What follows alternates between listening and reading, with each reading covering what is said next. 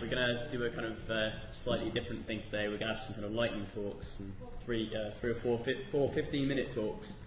Um, Nicholas Spalinger is uh, going to go first, um, and uh, then myself, and then a colleague of uh, Nicholas's, Sharon, and then uh, Dennis, um, who has been working on the Deja Vu fonts, which are the most commonly used user interface fonts you're probably all using.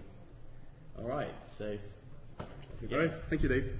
Um, so the idea is to just give you a quick overview of, of the status of the open font community uh, since the last LGM, basically. What has uh, happened, uh, the, uh, the various releases, some of the, the issues that we are looking at, and the future perspectives. So quickly, and then I'll uh, pass it on to, to the others. So, um, so first of all, quick overview. Why is, is it actually useful or important to have open fonts or free software fonts? Because you want a, wider uh, dissemin- dissemination of, of the, this component of the writing system. Uh, if you don't have a font in your own language, then how are you going to print out things? How are you going to have textbooks that allow you to learn your own language? Uh, it's also a key component for the A2K approach, access to knowledge. And uh, you might have seen one of these. Um, they also have a big need for, for fonts in a lot of languages. They have a huge challenge in terms of, of, uh, of that context. And also, uh, you need to be able to extend fonts, uh, fix them, uh, make them work better. So they should be under uh, a license that allowed, allows that. And um, yeah, to be able to localize the desktop and so on. And the idea being to have at least one uh, high quality, modifiable, redistributable um, implementation of every script on this uh, planet. So, yeah. So if you go to the, to the just a quick overview about licensing. Um, this is the uh, FSF page. You see they have a section for fonts. And one of the uh, fonts that I, uh, one of the licenses that is recommended is the open font license. So I'll, I'll let you read the, the preamble, uh, or you can read it on your own. But this just a quick working model of the of the license itself. So you have the attribution, you have the the share alike, where you distribute under the same um, kind of uh, uh, rules, at least. I mean, you, you propagate the rights that you received. Uh, you have an explicit right to embed the font in any kind of document. Uh, if you make a derivative, then you're required to, to change the, the name of the font, so there are no conflicts. And then there's a tiny restriction on, on selling the font on its own. So if you sell it with any piece of software uh, or another font, it's fine. So this is the working model uh, for the OFL. You can also use the, the GPL version 2 or 3. 3 is recommended because they've fixed a number of things. Uh, but you need to add uh, an exception, uh, and there are still issues that we, we are working on uh, with the renaming, the, the embedding. The, the current snippet of the font exception needs a, a rewrite, so we're working on that, and it's going to be reviewed. Uh, just a few examples of the fonts that have been released uh, recently. So uh, Conakry was uh, a font for, uh, for one of the uh, languages in uh, Senegal, I believe. Uh, Sharon has worked on that, for example. So this was commissioned by UNESCO, for example. Uh, Ecolier was um, one uh, dedicated to education. Then there, there's a, a foundry in Greece that is doing a lot of revivals. Uh, some fonts have been commissioned by the Extremadura government. Uh, there is a set of fonts also for various languages in uh, northern Canada. Uh, Inconsolata, you might have seen this one. This is a monospace font. Uh, there are pixel fonts, math fonts, symbol fonts. There's the uh, font for the, the Ubuntu logo, for example. Also, that's a, an open font. And then there's been the, the thing um, that Red Hat uh, paid Ascender to do, uh, and same thing for um, Google, commission uh, Ascender to, to create compatible fonts. Uh, quick overview uh, of a font folder, lots of open fonts. Uh, these are just the websites of the various uh, actors in the, in the community at this stage. This is a good resource also to find new releases of the of the fonts. There's an RSS feed, and uh, you you've listened to the, the the work and the methodologies of the OSP folks in the previous talk. But just uh, two days ago, they had a, a, session where they designed fonts as well. So that's been, it's about to be released, I believe. Um, this is a list also of fonts under the OFL on, on the SIL website that you can go to. Uh, as part of the Debian team, we have a, a, script that does the review of all the fonts in the archive. So every week, you know all the fonts that are in, and you see their previews and metadata and so on. So that's useful uh, to know. Um, the same kind of, of, review and packaging effort is going on with the uh, Fedora special interest groups around fonts. So see, see the, the community is, uh, is really uh, gaining strength. Quick overview of the, of the integration of, the, of, that, of that licensing mechanism in the, the core tools. So you've got a button on, uh, in FontForge to add automatically the licensing to your font. So the metadata matches. Um, on the Open Font library, you can also choose the OFL as, as a font when you, when you upload a, a release. Uh, in Inkscape, if you have your sources or, or, SVG fonts, then you can also choose uh, the license you want. There's a little um, viewer in the GNOME uh, project, which will also show more metadata about a font, who the designer is, uh, what is the organization, and so on. And uh, hopefully, at some point in the future, the, the uh, font menu will be better and show some of that information too, but that's still the design stage. And um, yeah, one of the ideas would be to have a, a, core set from the free desktop initiative so that you, you don't have the trouble of uh, uh, expecting a font on the system when you send a document and it's not going to be there. Um, that's one effort. And one of the key issues also is um, how do you define uh, font sources, but Dave is going to cover that a bit later on. Uh, we have plans also uh, to work on better build scripts and post-processing scripts and publishing that out. Uh, even uh, experimenting with the distributed revision control, stuff like that. Uh, so we quickly covered that you need fonts also for other platforms. The free desktop is actually quite large, it's growing. So some of you might know about the uh, N800 from Nokia. So that's based also on, on, on, a free stack, and they also need open fonts when they want to extend the coverage in other languages. Then there's the new phone coming out, OpenMoko. There's the Android platform. Also, they're, they're looking at open fonts in that uh, environment. And the web, web fonts, yeah. Oh, also, just quick thing on the OLPC, one open font per script, yeah. Right. Um, just quick shots of some of the fonts uh, on there. Uh, so the web uh, as a platform for open fonts, there is going to be a talk by the CSS guru, uh, come? um, I think tomorrow, yeah, and he's going to cover that better, but there, there's the work being done and folks from the W3C will also have their words on, on this. But there are, there are some tools already implementing uh, the add font face where you can grab a, a, remote font and, and use it. Of course, if you grab it, then the license should actually allow it.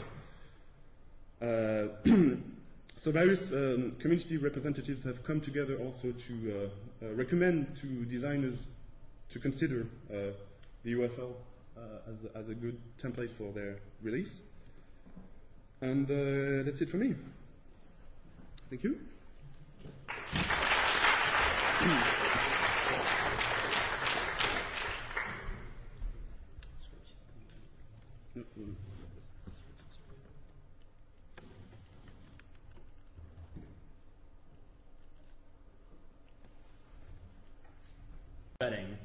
on a master's degree called uh, MA Typeface Design.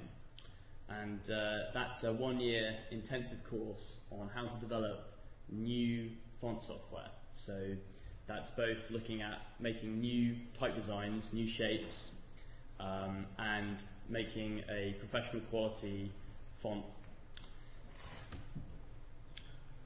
One of the questions that comes up uh, studying something at that level is, you know, looking at the depth of things, looking to the depth of things, what is a font?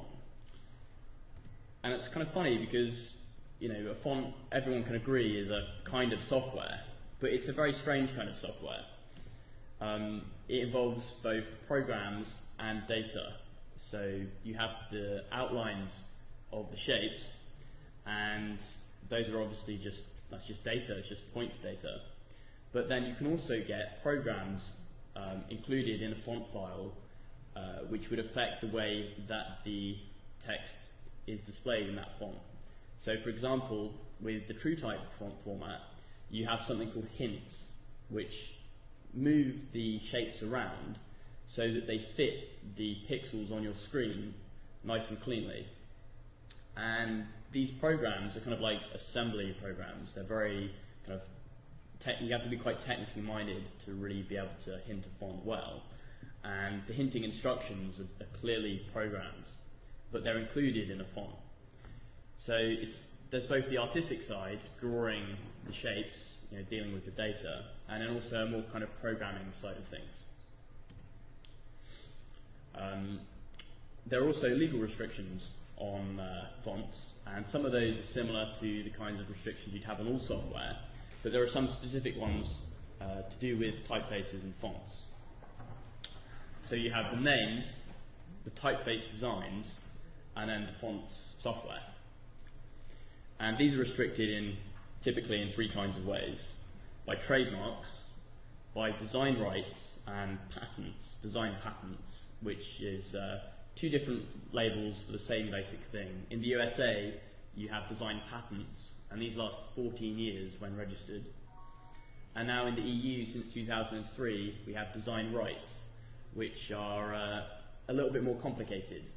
So you get a design right automatically in the EU for uh, two or three years, uh, just like with uh, copyright, which is also automatic.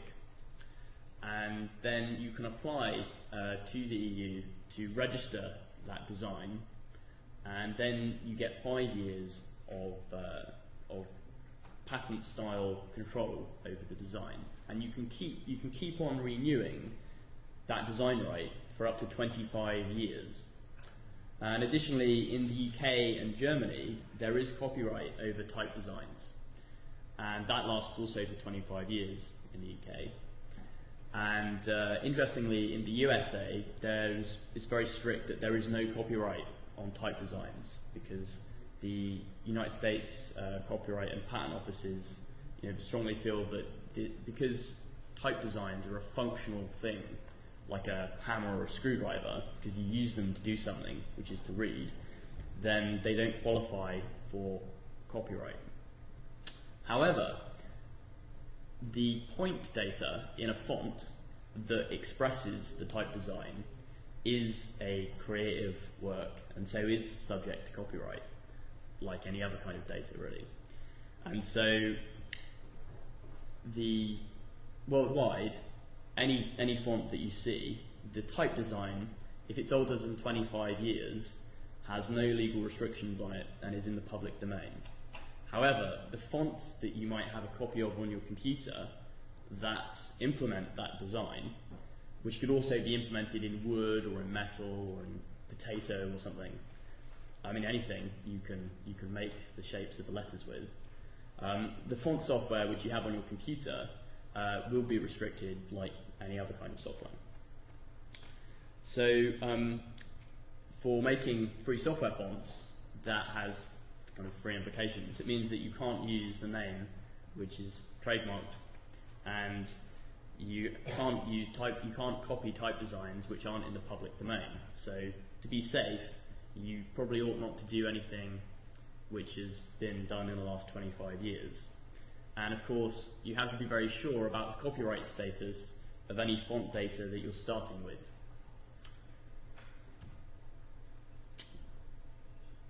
FontForge is a font editor and it's developed by pretty much by one single guy, George Williams, and it's available from SourceForge from this website. And it's a very capable font editor, and uh, it's been developed for about the last 10 years, and it's, uh, it's, it works really well. The user interface, however, is not what most people would expect from a design tool. Uh, because it was started development 10 years ago and was focused on fonts, the developer wrote his own graphical toolkit, which had full Unicode support back 10 years ago, when Unicode was, was still pretty new. And so it hasn't been updated in the same way that the other free software user interfaces have been. So it still looks kind of like programs did 10 years ago. Uh, but it's a very capable editor, and it's done a few things, um, such as integrating Spiro. Spiro is a new kind of curve technology developed by a guy called Raph Levien and released as free software. And uh, it allows you to place points uh, which are guaranteed to have smooth curves through them. So you can't make a bumpy curve. And that's quite important for people who are starting out in type design and illustration who aren't, you know, they don't have a lot of experience with Bezier curves. Spiro curves is, is quite exciting. The other big thing that's been added to FontForge recently is Python scripting. And uh, I think we've got some other talks about that uh, at this conference. And um, Python scripting of design applications is also very exciting because it opens up possibilities that haven't been possible before. As part of that process of adding Python scripting to FontForge, George Williams has shifted out the program so that instead of it being one big program in C, it's now a large C library, libFontForge, and then a smaller C program. This means that anybody who wants to can make a new font editor calling the C library, which is the kind of heart of FontForge. So um, it would be, I think, quite exciting with the new kind of toolkits that are, are being developed to make a new font editor which has a focus on usability and uh, being very easy to use for beginners. Because FontForge, beginners say, seems a little bit scary um, because its user interface it doesn't look what, as people would expect. Another big project is the Open Font Library, and uh, this is just getting going really. We've got 60 fonts uploaded to the Open Font Library, which are all either under a public domain license or the Open Font license, which Nicholas was talking about earlier. And often people look at the website and they say, well, there hasn't really been any updates, there's no new features. One of the big features that still hasn't been implemented yet is a preview of the fonts. So when you go to the font page, you actually get to see what it is before you download it. Um, why is this? Why have there been no new updates? Well, Open Font Library is based on CC Host, which is a content management system developed by Creative Commons. And the big new version 5 is due out this summer. And when that comes out, we're hoping to really start to see some progress with the Open Font Library. Talking about developing free software fonts, I often get asked, how do I get paid? So I have a simple idea for this. Step one, I find somebody who wants a font. And I tell them, I have a great deal. I can do it for two thirds of the normal price. And I don't tell them what the catch is unless they ask.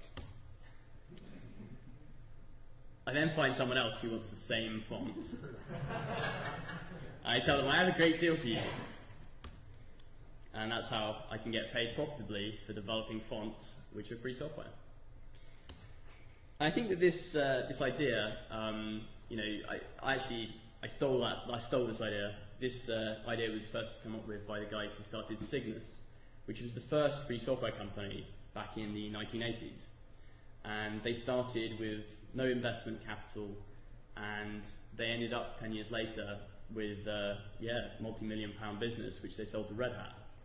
And although towards the end of the business they started doing proprietary software, for the first few years they were a 100% free software company, and they just built themselves up on that cash revenue.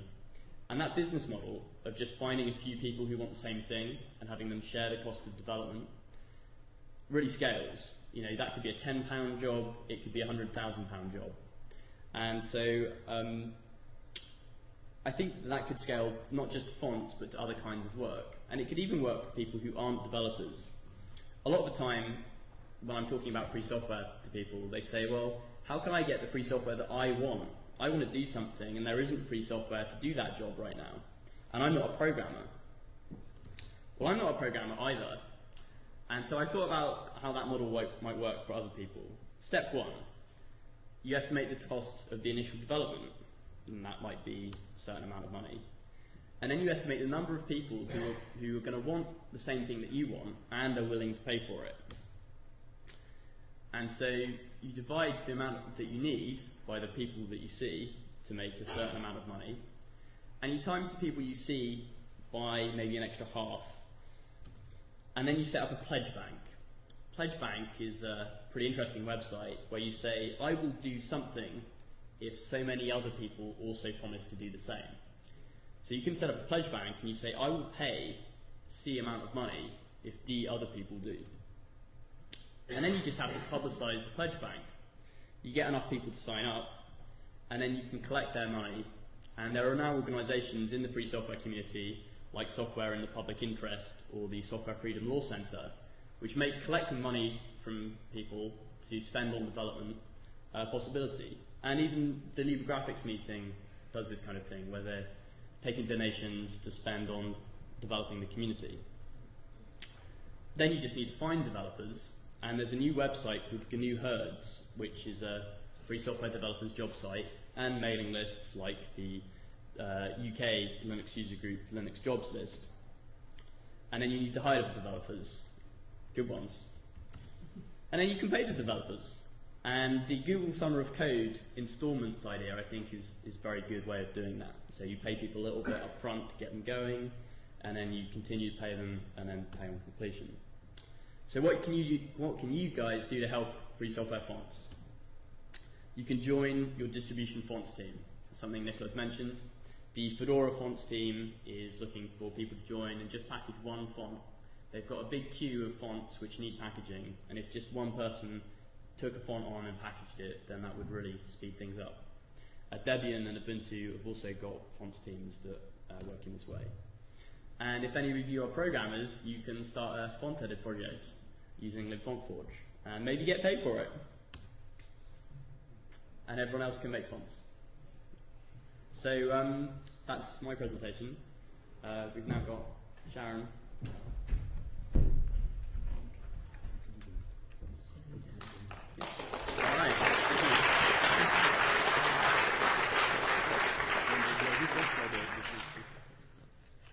Hello, I'm Sharon Correll from SIL International, and I just want to talk a little briefly about a few features that, um, a few uh, things that we'd like you to keep, we'd like to encourage you to keep in mind as that are font related and more generally text related as you're developing software. And these are things that we see are not really very well supported in software in general right now. Um, one of the, the first I'd like to talk about is what I call uh, user selectable font features. Um, what font features are variations in glyph selection, the shape of the glyphs and the behavior of the glyphs. Um, and these are needed, um, well, I'll talk about the different ways, places where they're needed. But there are two basic approaches to font features. One is the one, the approach is used by OpenType, and the other was used by AAT and Graphite, which are all smart, smart font um, technologies.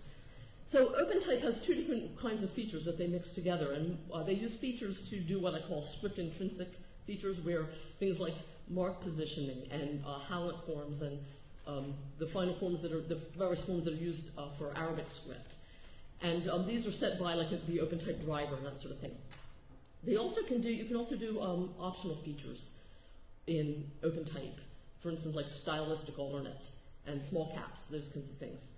Um, and OpenType treats them the same way, from my understanding of OpenType. I'm not an OpenType expert. Um, and uh, OpenType drivers will handle the, the, um, the script intrinsic features based on the uh, script that you're working with. But there really aren't very many applications that handle the optional features, and they're really important in some situations. And I'll talk about that in a minute. Now, Graphite and AAT, or Graphite is this, this smart font technology that SIL, uh, my organization, developed. And AAT is what's used in the Macintosh. Um, and these technologies, all the features are considered optional in a sense because you can get basically readable text out of the font without them. But in some cases, they're really needed, like re certain regions or certain languages really want those features turned on. Different shapes of the letters, different behaviors are considered right by the people who use that language, and they're just not, it's just, um, it's just not good without it. And these need to be set um, by the user or set somehow within the application software. So the ranges of text are like marked up with the feature values um, sort of like you would do uh, bold or italic and that kind of thing. So here's some examples of some of these features that uh, we need better support for. Uh, alternate glyph forms, for instance, uh, we, we, developed a literacy font where you have the single store, the single bold A and the, uh, the simpler G, which are easier to teach people to read with versus the more complex forms. Diacritic positioning, for instance, Vietnamese has a different way of positioning diacritics. Arabic has slightly different ways of handling some of the diacritics. There's optional ligatures, and some of these are used, for, like, you might need them for like typographical finesse, is what I call it, you know, small caps, kerning, swashes, and fancy stuff. But the really important ones are the ones that are needed for, uh, for languages um, where the people who read and write that language say, I, I, really need this form of the character, it just looks wrong without it. Um, in Graphite, we can also, um, that's the software that I helped develop, there's also some fancy things like manipulating diacritics and manipulating ligatures in special ways. You can actually uh, select the pieces of the ligature and um, fiddle with it. So here's a long list. You can see this long list, and you probably can't read read many of them, but this is a list of the features that we have in our uh, the SIL's develop, uh, Roman font, Roman and Cyrillic fonts that we've developed. You can see what a long list there is, and most of these are because there are languages around the world that needed needed a specific form of characters. Uh, there's even a few with Arabic, as you can see there. There's about five, uh, six or seven that are very language specific. So we need, we need applications that can handle these, whether it's through OpenType or Graphite. Um, you need to be able to support them in your files, just like you mark text up with bold and italic. And um, you need a way to record that the features are turned on for a range of text. Um, there needs to be user interface built into the, app, um, into the software for people to be able to manipulate them and set them the way they want. Um, we need rendering APIs to be able to support the information about the features to be passed to the renderer. Um, something like CSS really needs to record uh, feature values so that the, so they can be displayed properly. In general, anywhere you, where you have something like bold italic, you need um, you need to be able to support font features too, ideally. Um, now, th and this leads into my the next quick little talk I'm going to do. Both OpenType and Graphite have ways of associating features with language. Um, and as we mentioned, as I just mentioned, uh, certain languages need certain features to be turned on. And so here's some examples in um, Arabic script of Sindhi, Urdu, Kurdish, and Shina um, have different variants, a number of different variations. And um, in Graphite, you can associate a language code or set of codes with a set of features. And the same is possible in OpenType. So that leads into my next talk, which is, how do I get it up? Uh, in. Sorry, not using this one. I used it. Oh, I can't read your thing. No, no, there it is. No. Okay. Oh, yeah, PDF. So we, um, I called this, originally called this language uh, identification, but someone suggested maybe language tagging is a better, a better name. What I'm not talking about here, I'm not talking about automatically figuring out or trying to guess what language you're working with, but a way of tagging the data, tagging all data so that it, um, the software knows what language um, you're working with. Oops. Now, there's about 7,000 languages in the world, and I, uh, SIL, the organization I work with, we work with a large number of them because that's sort of what our mission is about. Um, and past standards uh, have only recognized maybe 400 languages, and uh, we, we've been pressing the industry to recognize more than that. So uh, currently ISO 639.3 will uh, handle all, uh, have identifiers for all, all 7,000 of the world's living languages, plus probably some uh, historical languages. And in fact, ISO 639.6 has even more variety with ways of handling dialects and so forth.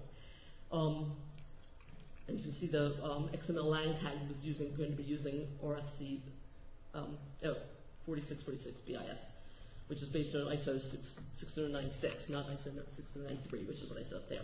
But the point is that there needs to be ways to um, mark, there will be ways to mark up um, text with, um, with the language tags. And this needs to be incorporated in software more broadly.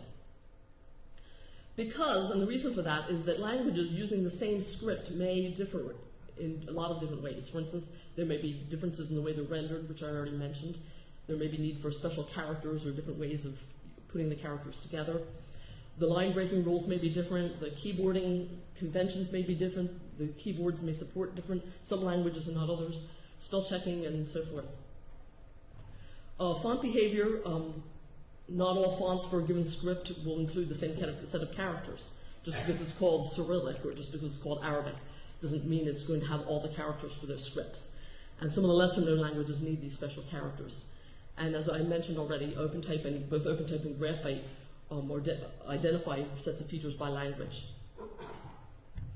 Um, and here's some examples. There's see one box there has the up, four different varieties of the uppercase eng, and these are used in, in different parts of the world. Want to use different forms of it.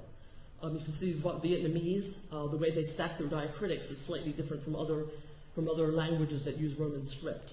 They have that little uh, acute accent, and the grav are off to the side somewhat. It's an example from Romanian, where the uh, variety of the, the diacritic, the comma cedilla diacritic, is a little different. And there's an example from Arabic of some different forms of the letters there. Um, and again, these are things that the speakers of the language really want these to look this way, or else it just kind of looks wrong to them. Um, now, I, I, was making a push for supporting font features in software, but strictly speaking, font, uh, language is more a more fundamental piece of information. Font features are font specific, but language is a more um, general piece of information. And so, if you have the language, uh, the information about the language in the data and in the software, then that'll, the, the font features will fall out for free. So, language is, in some ways, language is an even more strategic piece of information to record. Um, line breaking, just because you're using, say, Thai script doesn't mean you're going to be using Thai line breaking rules because there are, there are other languages that use Thai script or use Burmese script, and, um, and they may have different rules for, for line breaking. And so if you're assuming you have them using the standard rules, you'll get wrong behavior. Keyboarding, um, there's not a one-to-one correspondence between keyboards and script, or keyboards and language. There can be multiple languages per script, for, per keyboard, and keyboards can handle more, more than one language. So you really need to, for, to, in order to get the right keyboard turned on or to handle the input from the keyboard, you need to know what language you're dealing with. Other kinds of processing, for spell checking, hopefully that makes sense. Sorting and searching, when it's collation based, you can, um, you can sort of set up a collation key uh, that's sort of multi level, and that's used for sophisticated sorting and also for searching and these need to be uh, language specific because different languages have different ideas of um, case mappings and uh, the units within the of the, the unit sort of character units within the language. For instance, the old-fashioned way of sorting uh, Spanish used the ch as a single single letter, and so that's um, different from other other Roman languages that use Roman script.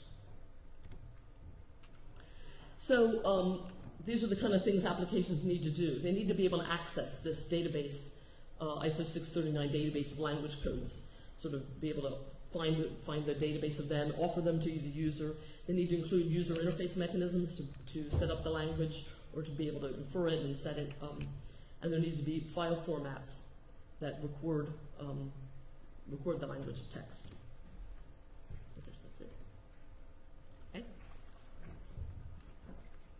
Sorry, can I ask a quick question? Sure. You're talking about inf- uh, infamous file formats. Are you already discussing this kind of thing with the Open Document Standard? Mm-hmm. Say that again? Are you already uh, working Do you know with the the Open to? Document people on this? I'm sort of doing this presentation on behalf of somebody who isn't here, so I don't know the ins and outs. Yep. So, so I think, to the best of my knowledge, there is someone who is in touch with uh, Patrick Durusau, uh, the, one of the editors of the, of the ODF format uh, specification, and uh, the, the need for, for that has been, um, has been made clearly, and I think, I believe at the last uh, text layout meeting also that was uh, happening at the uh, Akademy, there was discussion on that. Uh, so I, I think it, it's underway. Okay, So great. yeah, that's a good thing.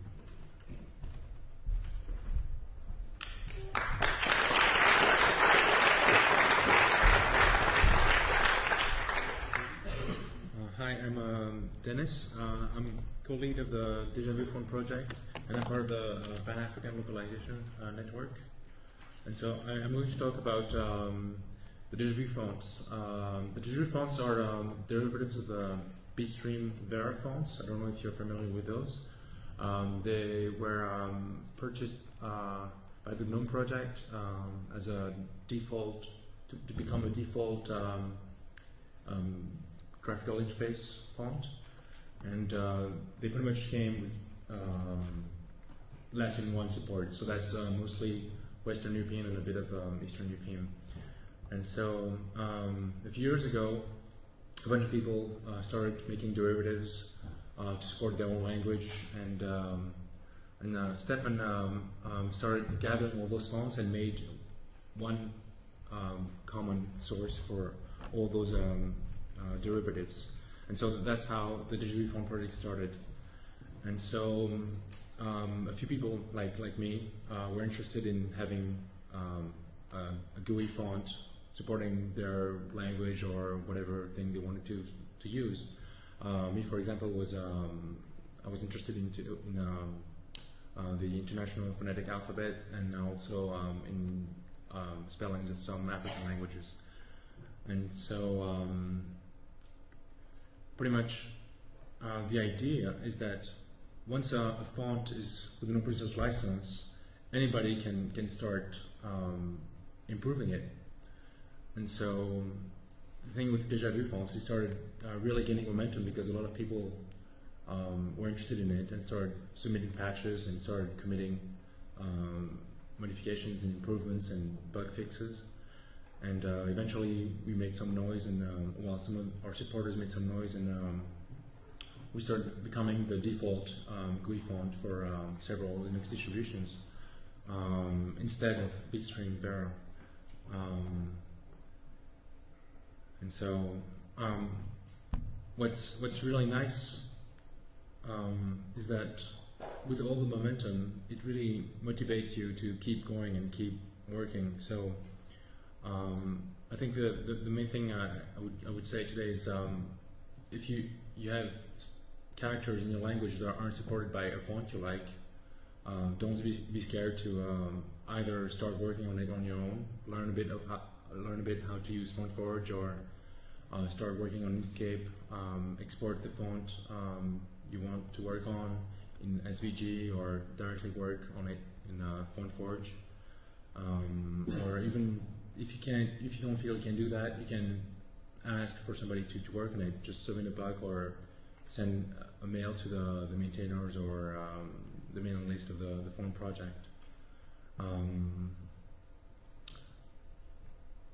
yeah, that's uh, pretty much it. Um, and um, so what we really like to see is uh, other font projects to also also uh, start improving their uh, international support uh, because now, as uh, Nicholas mentioned, there's there's there's, there's um, a lot more fonts that start to to uh, switch to open source licenses, open open source licenses, um, and um, a lot of them are available in FontForge format directly. So. Um, um, some of the people I work with on the Deja font project uh, project are showing interest into improving other fonts like um, like the, the Liberation uh, fonts that uh, Red Hat released recently and that's um, that just started um, having um, a Git site um, and is properly packaged now. So hopefully um, more fonts will support more languages uh, in the near future. And if one person can help, it's probably you. That's it.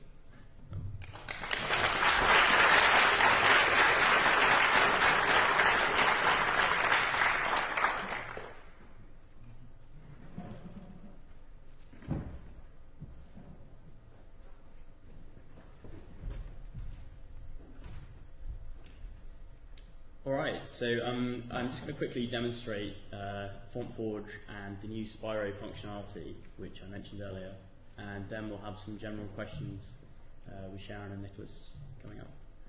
All right, so um, so we have here uh, the first view of FontForge, which is the character palette view, where you can see all of the uh, characters available in a font.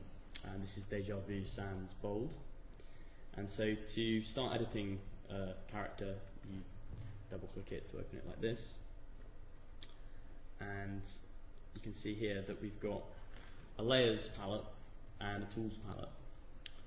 And the new feature uh, that I, mentioned, the Spiro Curves feature, is activated uh, by clicking the Spiro tool, which changes the Bezier curve editing tools into Spiro editing curves. And so um, this is quite a nice clean integration and you can place a few points and you get the Spiro curves coming up. Um, quite used to this laptop. Where's the mouse?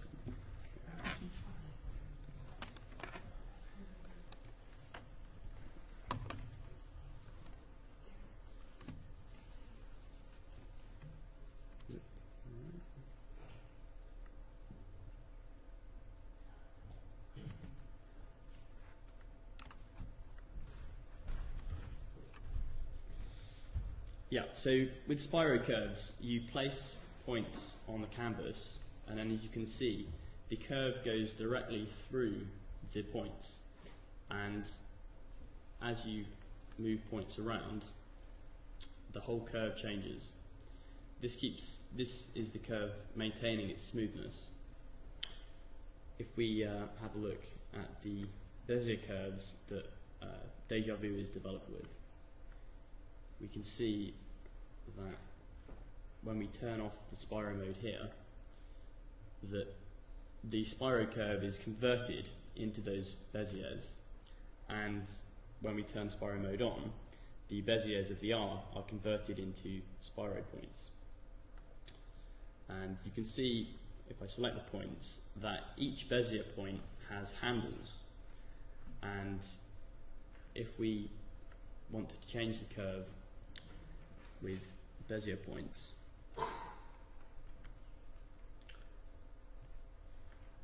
We do that by moving the handles. And this allows us to have a lot of control over the curve, but it means that we can have quite bumpy curves. And you can see here that I've now done that.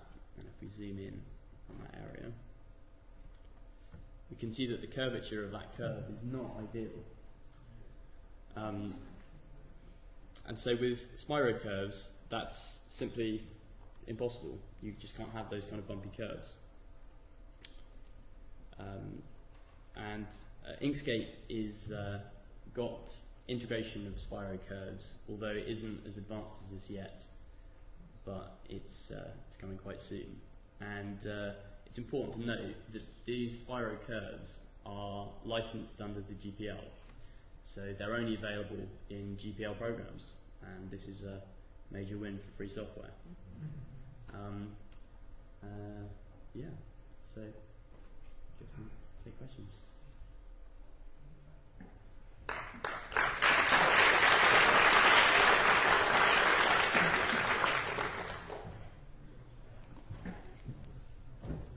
Any questions?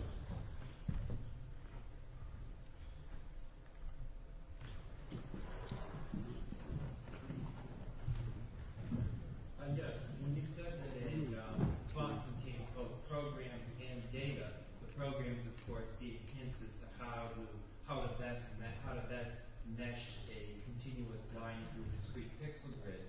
Is the um, do the pro does the program part are the hints in an actual Turing complete language that you could put any arbitrary mathematical expression into those hints, or even create an infinite loop in them? Um, yeah, so it's possible to crash the system with a malformed font. Um, yeah, that's right. Uh, I'm not sure if the. a font renderer that wouldn't that would that, that wouldn't get stuck in an infinite.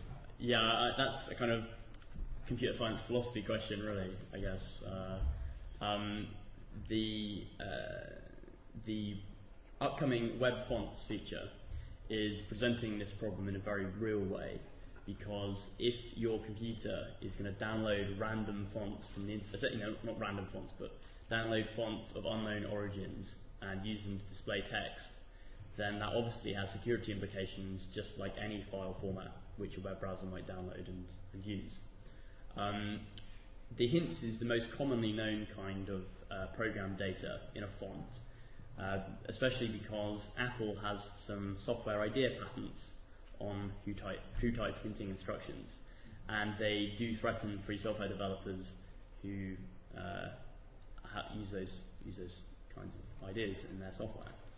Um, but there's another interesting kind of program in some fonts, the OpenType fonts and the graphite and other kinds of intelligent fonts that Sharon was talking about allow you to do things like you know contextual substitution.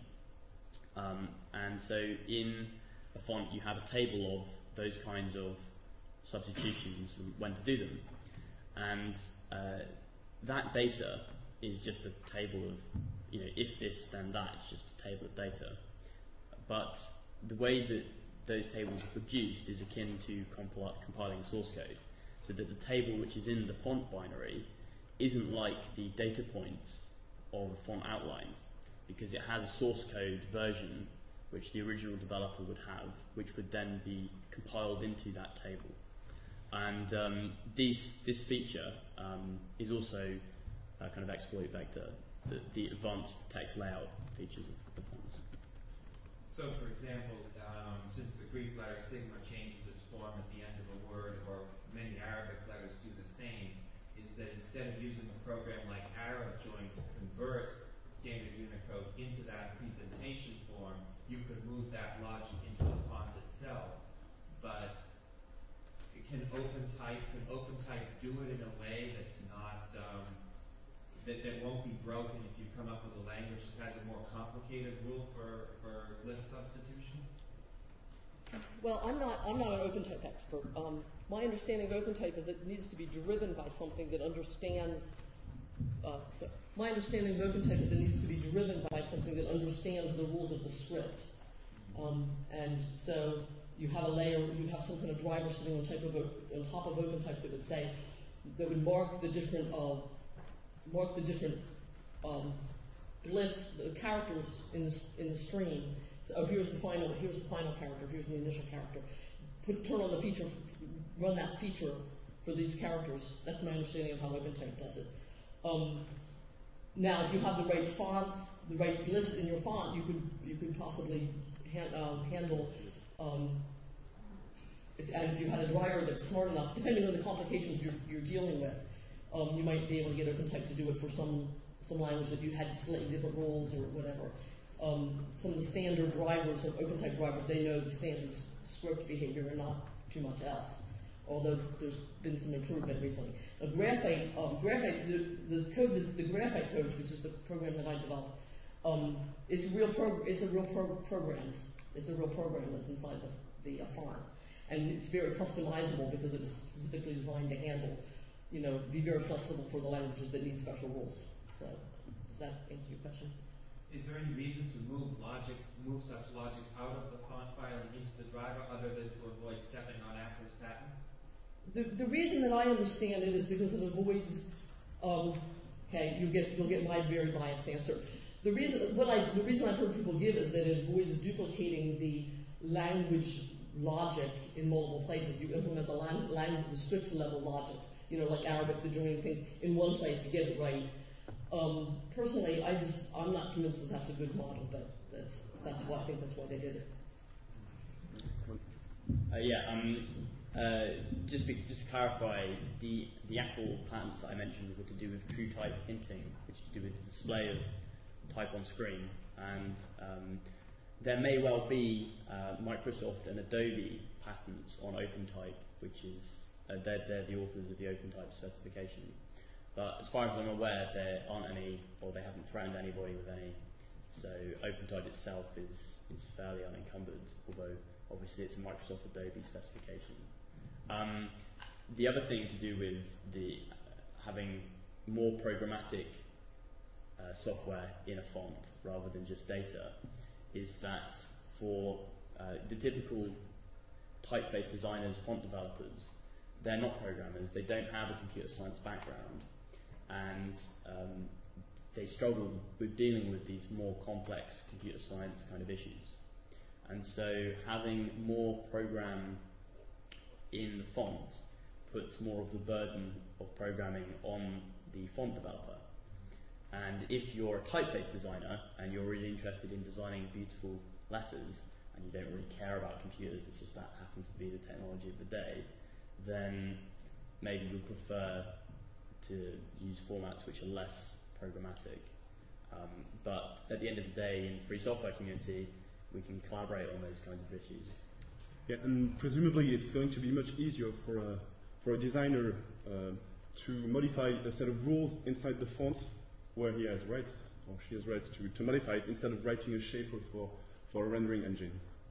Uh, at least that's this aspect also to take into consideration. Any more questions? Uh, I have one question. Um, on the Spiro codes, I can see that that's clearly a more uh, um, natural way of drawing curves for, for typefaces, for, for fonts. What about the general, supposing you, the, the general case of drawing curves? Suppose you, you draw, uh, you're an illustrator, you're drawing something which is not a font. Do you have any view as to which is the more natural one to use, uh, Bezier or Spiro? Have you used Spiro much? Um, personally, I find um, Spiro is great if you um, draw the characters on paper, scan it, and then just want to um, to produce it because it's really fast. Uh, I haven't um, played it enough so that I can start drawing characters with it directly. I'm more used to uh, Bezier. Um, Supposing you want, you're a cartographer, you're drawing a map, for example. yeah, um, or you're drawing some, some kind of shape which is not really a curve. Generally, fonts tend to be, say, an S curve, for example. I can see an S. yeah, It's much easier to draw and more natural yeah. It's much Spiro. faster. Yeah, than Bezier. definitely. Um, I'd like to Uh, yeah, I mean, I would say with that. Um, Uh, sorry, I've been uh, jumping into this talk a bit late, but uh, regarding using Spiro curves for um, editing new shapes, you have the problem that um, Spiro is not really numerically stable. So if you drag around your control points, the um, curve may jump around quite a lot or create very uh, slowly things. Right, exactly, and just start dragging around some of the points, and you see some drastic changes to the. Um, I think that's is a little bit dangerous for a drawing application. So, I think it's because it's just the beginning. I, I, I mean, it's just the beginning of your experience with Spiral. Because It's like when you begin with Bezier, it's uh, it's it it don't produce so uh, spectacular output or errors, let's say, but you produce flat curves and things ugly. In Spiral, when you do an error, it's still beautiful, but um, it's if you practice, let's say half an hour or two hours, you understand well where the limits are. So maybe in a future ver- version of Spiro, uh, it must uh, protect to, to against that uh, kind of error. But um, I think to, to, to answer maybe at your question, because I draw a bit cartography and I draw a bit typography. Uh, Spiro is really useful when you have to draw something where all the curves depend on each other's because what is really natural and um, interesting in spiral is that when you place your, let's say, tenth point, the first curve is still changing a bit. So it's like uh, you have a, a kind of natural tension, like uh, with a body or something like that. And forms act uh, more as body than road on cartography. Even if road in cartography sometimes are a bit uh, organic also. Uh, but so I think for I haven't seen any maybe someone here uh, any illustration application with Spiro for let's say to draw a horse, but I think it could be really interesting. But for typography, definitely It's beautiful.